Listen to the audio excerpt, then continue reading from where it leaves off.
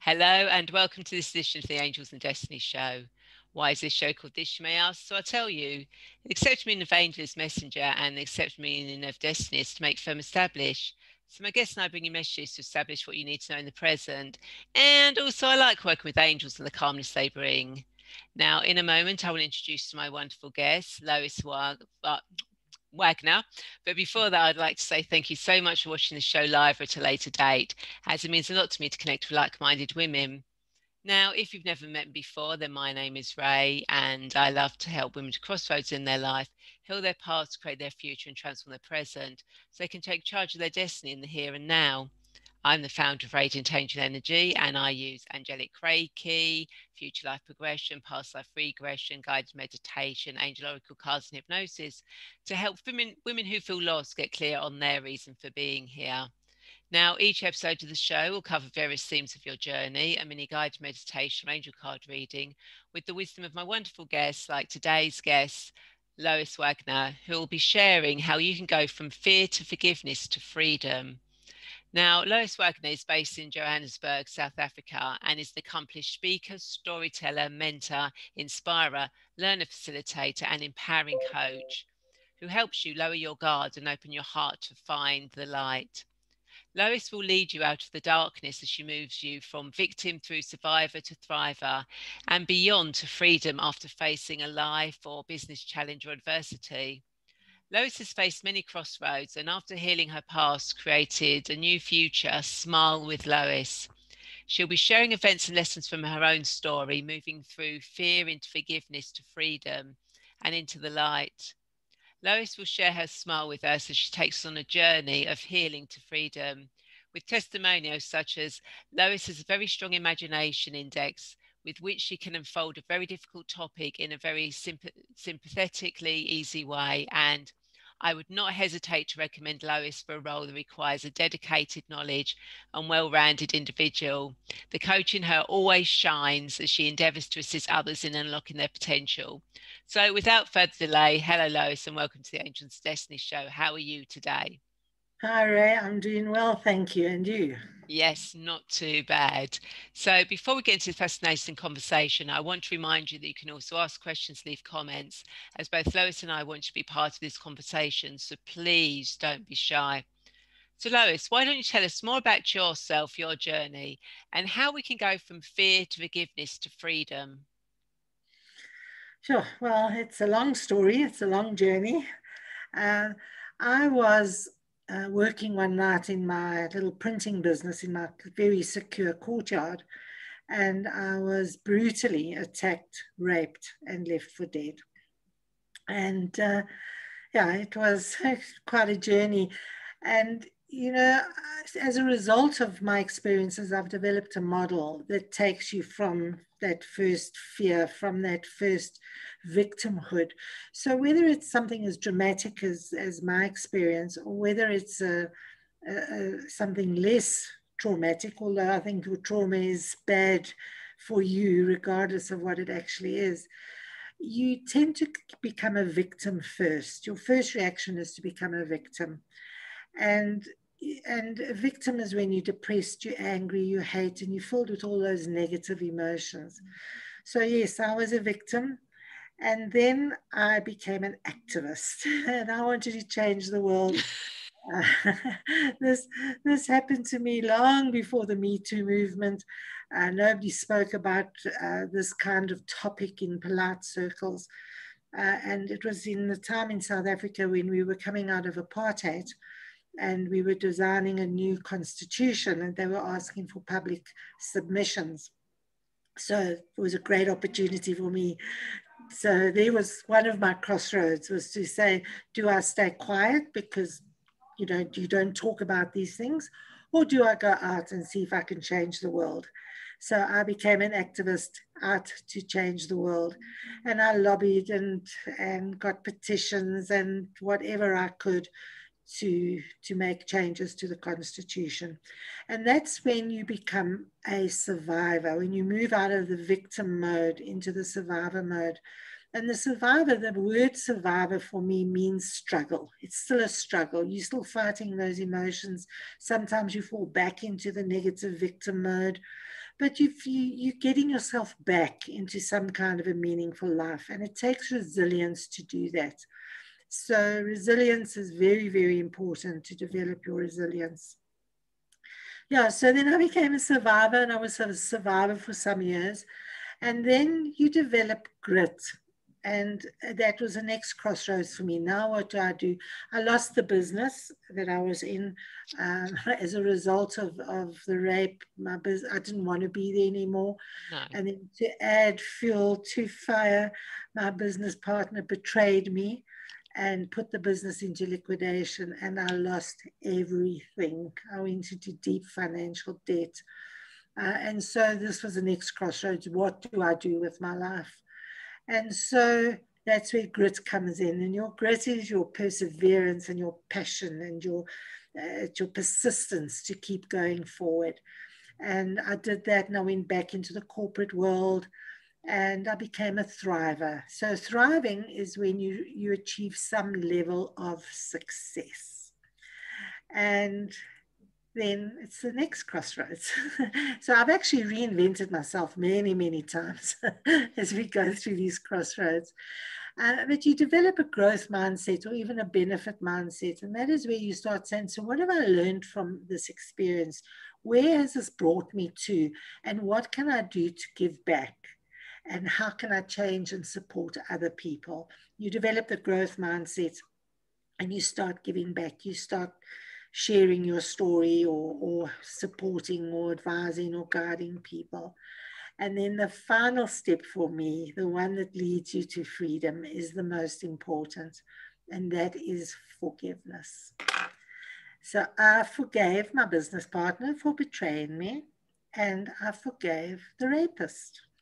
Wow, that's a pretty big thing to to do. Yeah.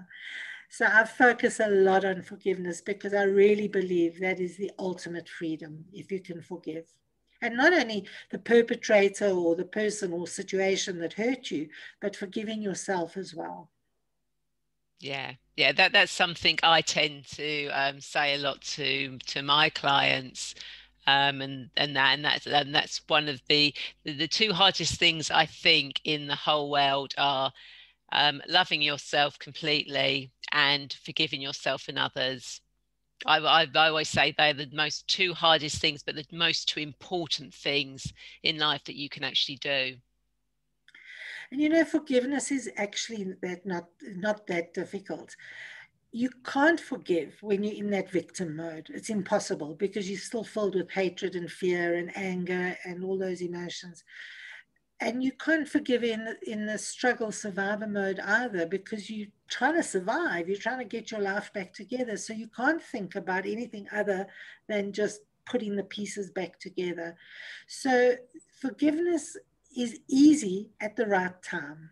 So when when you're ready for it and each person will be ready for it at a different stage at a different phase um, each person's journey is unique to themselves. So you can't compare your journey to anybody else's journey, although you do go through all of those phases. Yeah. So, um, I mean, did you have any help when you when you were doing this, or did you have to do it all by yourself? I did it mostly by myself. Um, it was prompted by a friend. Uh, it is quite a funny story because I was um, I left South Africa and I was living in the Middle East and I was coming home for my first holiday, and I don't know. It was it was 14 years after I was raped. The the, the rapist had been given a 25 year sentence, and I never thought about it terribly much. And I was going home, and I just thought, I wonder if he's still in prison. And so I contacted the authorities, and they wrote to me, and they said he's due for parole the day after I arrived in South Africa. I just thought, wow, that is just too much of a coincidence. And the law in South Africa had just changed the previous year, allowing victims of, they call them victims, allowing victims of serious crime to attend parole hearings. Hello. so I was the first person in South Africa oh, wow. to attend a parole hearing after the law changed. So I was just chatting to friends before I left the Middle East, and uh, they said, "What are you going to do? Why are you going to the parole hearing?" And I said, "I don't know. I'm allowed to go, so I'm going." and everyone advised me not to go. And one friend said, "Yes, you must go, and you must forgive him." What? Don't be silly. I'm not going to forgive him. He ruined my life. And uh, I thought about it, and I did some research on the internet, and so yeah, I pretty much prepared it on my own with help from Mr. Google. Yeah, yeah. You see, see, Google can can can help can help sometimes. Um, so so so what sort of things did did you look on Google? I mean, did you um because I know there was um the Auschwitz survivor, wasn't there? One of the two sisters who was experimented on, who actually at the Nuremberg trials, she actually went and forgave her, um, the guy who did the experiments, didn't she? Yeah, there's been a lot of forgiveness. Uh, I, I, don't think I Googled too much about what other people had done. I just Googled how to forgive. Um, and uh, I, des- I, I followed a particular site and I sort of created my my process around that.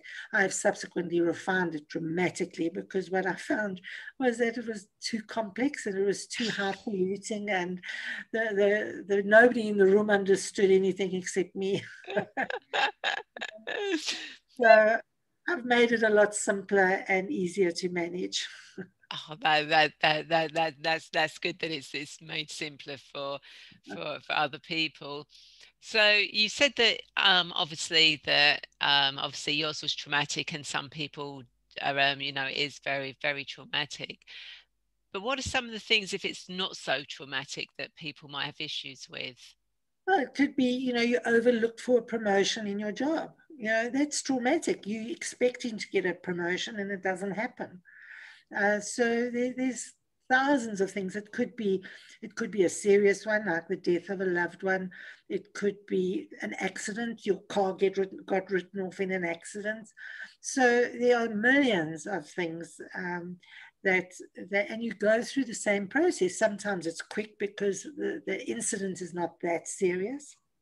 Uh, and depending on the, the, the severity of it, it can take, for me, 14 years. Um, although I advise people to work through it quicker. yeah. uh, you know, now yeah. that I know what I know, I, I could have done it a lot quicker than 14 years. oh, but then if you'd been about 14 years ago, you probably would have done it quicker. Absolutely. Because you, you would have been helping yourself do it because you knew what you were doing. Absolutely. So, yeah, so it, each person, as I say, it's at their own pace. And I just don't advise you to hang around so long because, you know, I suffered for so many years. I even had psychosomatic back problems. I, I was bedridden for six months. And wow. there, was, there was nothing wrong with me. And it's a, as a direct result of unforgiveness because what happened was because I was so out there changing the world and lobbying and going out telling everybody my story, everybody was saying to me, You're so brave, you're so strong. Look at me, I'm so brave, I'm so strong. And it was about two, maybe three years later, um, I couldn't get out of bed one morning. My leg just seized up on me. Went to doctors, had MRI scans. They said, no, no, I had to have a back operation. They operated, the operation failed, had to have another back operation. The operation failed uh, uh, the, the surgeon, I used to be a keen scuba diver and hiker. And the surgeon said I would never do those things again because I could never carry anything on my back again. Anyway, I was bedridden. I went for lots of alternative therapies and they all helped. They all relieved the pain for, for short periods of time, but it didn't heal the problem. And it was, yeah, once it was pointed out to me by my dear sister that I was not facing something, that I was putting something behind me, I was ignoring something, putting it behind me and carrying it on my back until my back just said, I can't take it anymore. So when I started evaluating what that was, it was the fact that it was so nice to be weak. I didn't have to be strong for everybody anymore. Gotcha. So why get better? Everybody was fetching and shopping and carrying, and I could just be weak and pathetic, and I didn't have to do those things. and so that's just what it was. And uh, so I did a little bit of head work and I went for eight chiropractic treatments and I did a five day hike with a huge backpack on my back. Wow. Uh, so much for the doctor's diagnosis. Exactly. But that was just literally by your mindset um, that, that, that, that, that changed, that had that, that major, major uh, miraculous change. it was. It was all in the mind. yeah we, we, you know and, and it's amazing how much the mind you know can affect us with with every with everything we do and that so so where does the smile come from well when uh, i went back into corporate business uh, well on and off as i say i've reinvented myself so many times i went into corporate and then i started a training business then i went back into corporate so in and out um, and then in the Middle East, I was working for a company. And then I reached the age of 64, and they said they're not going to re- renew my work visa anymore. I'm too old. So I had to come home, forced retirement, much to my disgust. and so and so I thought, well, now I've got to reinvent myself again. And everyone says to me, You're always smiling. and so I, I thought, well, and that's what I do. I bring the smile back to other people by helping them through their process. So I looked at what I do and the storytelling, the, the, the, the, the mentoring, the inspiring, the learning, and the empowering through coaching. So it was a nice acronym to explain what I do. And yeah, so I started my business using that to explain what I do. Oh, that's absolutely that's absolutely brilliant. I just love that. You know, sort of like the smile and then it just all fitted fitted in perfectly together um, for, for for for what you do. So do you just um, see people in person or do you work online as well? Well, unfortunately, at the moment it's only online, mm. um, and and since I've I've retired, it was almost, it happened just before COVID. So I've been mostly online since I've been smiling. so that's brilliant. And you found time to write a book as well. Well, the book took 26 years to write. Oh, okay. Um, I started the, the night I was raped. I started writing it. I just had to get it out. And so I kept a journal and the intention was because I wanted to change the world, the intention was to publish it as my journal. But I never found a conclusion, and it just going wider, wider, wider, wider. And eventually, I thought, you can't publish that. It's boring. It's dull. It's nobody wants to know about what I ate for lunch yesterday. And so I just lay there and gathering dust. And then I thought, well, the conclusion was the forgiveness, which was the conclusion but for some reason never got off the ground. And now, because I'm doing this work, it's the right time. And now also because because I'm doing this work, I've added lessons into the book. So the book is part journal, part memoir, part lessons. So it's a self-help guide as well as a story. Uh, and so the, the time was right now because it, it just makes sense. Before it was just a memoir. So now it's it's it's got lessons. oh, excellent. So what kind of lessons have you managed to put in the book that people can do? Well, it's just moving through from survivor, from thri- victim to survivor, thriver, and beyond. So I give tips on on how to manage the emotions when you're feeling really hateful of hate and anger. So there's just a couple of tips on that. Um, when it comes to the forgiveness, I've got a free downloadable checklist on forgiveness that you can download. So that's in the in the book. Some of those tips, uh, and then at the beginning of a book of the book is a little quiz, to um, test where you are, whether you're a victim, survivor, thriver, or free. So it's just a little bit of that, getting them involved in the process. Yeah, yeah, which which which makes makes absolute sense. So, you know, is there a little tip of something that you could maybe share with people that are watching now? Um, you know, uh, it's kind of I, I don't know with with what's going on at the moment um, something that could that could help could help them at all absolutely you know whenever you go through any kind of upset or challenge or adversity get a pen and paper preferably pen and paper. You can do it on your computer but uh, it, it works better if you write it. I can never read my writing afterwards so i have to do it on computer. Uh, but write. You can write it as a journal or you can just write your emotions, write down what you are feeling at that moment, whatever it is, just get it out there. Two things happen when you write. It, well, a couple of things. One is it helps you remember if you want to go back to it later. The, the second thing is it's it's very therapeutic. You're actually getting it off your chest. You're getting it out there, and then also when you get it out there, you're actually sharing it with the universe, and the universe takes some of that pain away. So writing is a very, very, very therapeutic thing. As I say, you can write it in any form, but just get it out there. One of my, my peers at the moment, he's just become a father, and uh, we, we're in a writing group together. And he said that he's starting to write before he forgets the emotions that he is feeling as a result of becoming a new father. And uh, I think that's wonderful because even though that was a good thing, it's wonderful because you do forget those feelings and those emotions. Yeah. So get it down, whether you do it for yourself, whether you ever read it again, whether you do what I do and publish it eventually. It's so therapeutic to just write, get it out.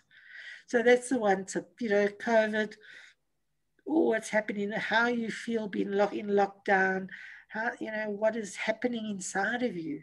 Get it out there, write it down you know, maybe one day you'll read it to your grandchildren and say, remember the days when we, we weren't allowed to leave our houses. this is how we felt.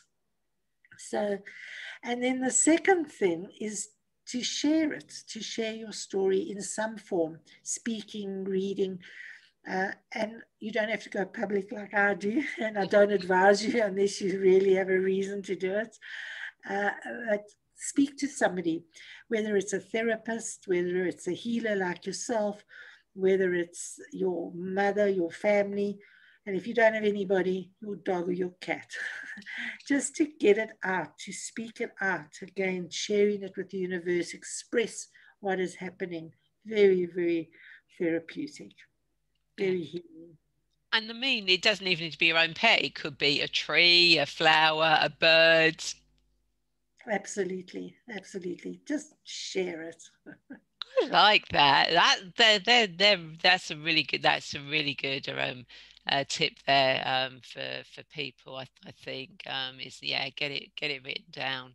Get you know get it get it out there. So yeah, thank you so much much for that tip.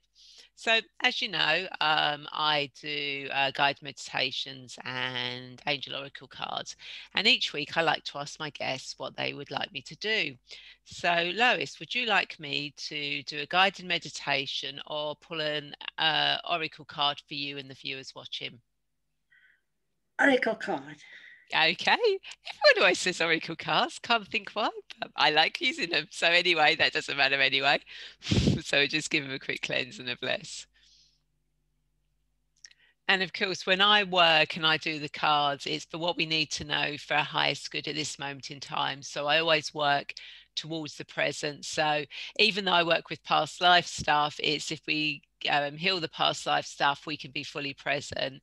And with the future stuff, um, if we know where our future's going, what's happening, then we don't worry about it and we're fully in the present. So it's everything for what we need to know in present. So what does Lois and everyone who's watching this need to know for their highest good this moment in time? Lois everyone who's watching this need to know for their highest good this moment in time. Perfect. Fellow travellers, support is all around you. Wonderful. I mean, how yeah. perfect that that card has literally come out. Absolutely. And that's and that's the one thing people must remember they are not alone. You are not alone on your journey. There is somebody out there and not only one somebody, there are many people out there. Regardless of what it is you're experiencing, you will find some support group, some people who are there to support you. Yeah. And if not on the physical plane, then, you know, on the spiritual plane, the angelic realms, um, you know, you've you've always got that guidance around you. You just have to tune into into it. So, so you so you've always got someone or something there um, all, all, all around you. So, so I think, Lois, you know, this is also saying to you, you know, you are, you have got a support network and um, around you, um, uh, with, you know, and it's confirming that you do have that, and not just physical, but actually on the um, spiritual and angelic realm as well. I'm kind, you know, you've got a lot, you've got a lot of um, of energies actually supporting you at this time and trying to push you forward with what you're doing. I feel it. yeah, yeah. Um, and of course, to those watching again, it's just a reminder that you have got that support network around you, whether it's physically um, or or spiritually um, or, or angelically, um, that you've actually got that around there. So, what's the feather? Well, it just flew into my room today. Oh wow! And, that's a sign of the angels. It is. Yeah, fe- yeah, feathers, feathers appearing. How amazing is that? You know, confirmation, confirmation, and you can actually ask that. Um, you know, if if you if you want, you know, you know, are my angels around me? You know, show me a sign, and they'll either throw a feather your way, a penny, um, a song will come on, um, I know Robbie Williams Angel, you know, something will come along that we go, ah, angels are with me now. And uh, so, Lois, do you have any insights or thoughts to leave our viewers? Whatever emotion you're feeling as a result of your adversity, regardless of what it is, is acknowledge that that emotion, accept that emotion, don't just ignore it and say it'll go away. Don't brush it under the table because it will come back. It goes into the subconscious and it will come back when you least expect it.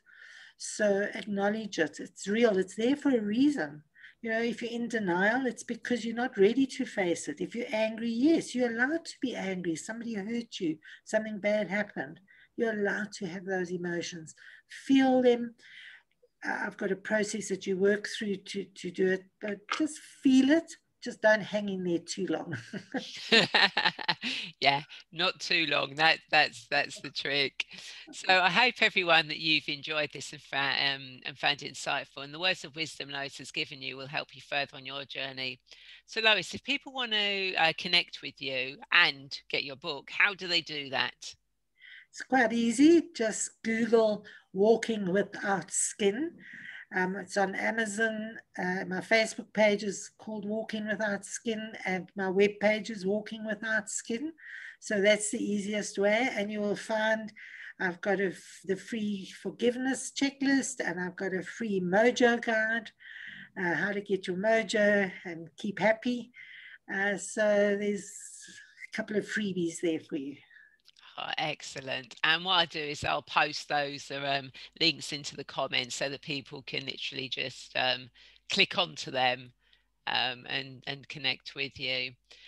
Um, so, of course, if you have reached that crossroads in your life and you need help finding your destiny and taking charge of your life and getting clear on your path, then I would, I personally would love to be that guide for you. Please feel free to reach out and connect with me, and we can arrange a free 20 to 30 minute video call to find out more about each other and how I can help you take charge of your destiny. And of course, the Angel Wings membership community is now open, where you get the chance to grow with ascended masters, archangels, god, goddesses, and the community itself to help you spread your wings and soar. And of course, if you sign up to my weekly newsletter on my website, you actually get a guided relaxation meditation to help you distress and also a couple of other three gifts. So thank you so much, Lois, for being on the show today. Um, and thank you so much to everyone watching. And I'd like to invite you to share this video, as I'm sure there are more women who feel lost and want to get clear on their destiny, just like you. And if you're watching this on my YouTube channel, then please do hit the um, subscribe and the bell to be notified of future um, shows. And what is that butterfly doing there? I just end off by saying fly free. Oh, I like it. I like it. I like oh, it. I like it. Thank you. So, everyone, thank you so much for watching. Thank you again, Lois. And I will see you all again, same time, same place next week. Bye. Thank you, Rae. Bye.